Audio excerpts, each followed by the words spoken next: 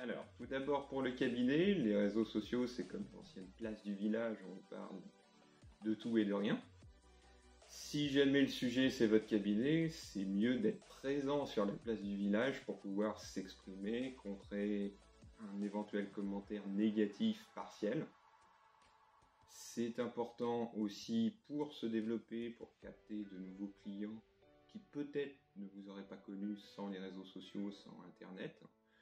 C'est important pour le recrutement, c'est le moyen de communication de certaines générations, donc c'est quand même plus facile de capter certains profils en étant présent sur les réseaux sociaux.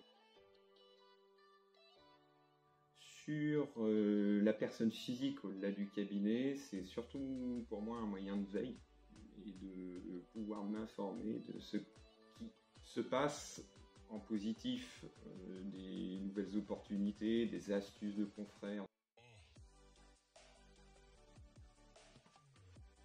La formation réseaux sociaux permet de mettre en corrélation ses, moyens et ses objectifs. Quelle est ma cible? Est-ce que je veux parler à mes clients existants? Je les trouve sur quel canal de communication? Est-ce que je veux capter des nouveaux clients? Quelle typologie de nouveaux clients Donc je vais plutôt les trouver sur tel réseau social. Est-ce que je veux plutôt capter des futurs profils en recrutement, euh, travailler ma marque employeur où est-ce que je vais me positionner? La notion de retour sur investissement aussi?